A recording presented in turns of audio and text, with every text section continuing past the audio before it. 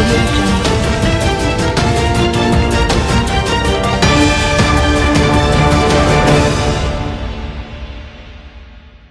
श्री गुरु ग्रंथ साहिब जी के 416वें प्रकाश उत्सव पर्व को समर्पित सेंट्रल सिख नौजवान सभा के सदस्य सहजदीप सिंह ने ब्लड बैंक जाकर बर्मा माइंस निवासी एमडी ज़फ़र, जो कि कैंसर से पीड़ित है, उन्हें प्लेटलेट्स दान किए।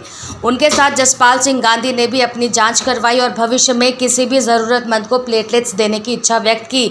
जैसा कि ज्ञात है, ब्लड बैंक में कोरोना महामारी को लेकर सेंट्रल सिख नौजवान सभा के द्वारा निरंतर ब्लड बैंक से संपर्क साध, ज़रूरतमंद लोगों को रक्त और प्लेटलेट सभा के सदस्यों द्वारा दान किया जा रहा है।